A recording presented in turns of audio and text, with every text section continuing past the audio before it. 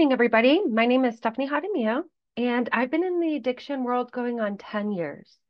And so I'd like to start off by giving a little bit of information about what addiction is.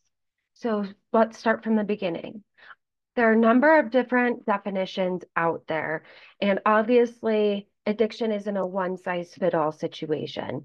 And so, one of the best working definitions that I found comes from Dr. Gabor Mate, a major player in the field of addiction, that describes it as continued use of that substance or that behavior despite its negative consequences. We all tend to have a little bit of a working idea of what we think addiction is.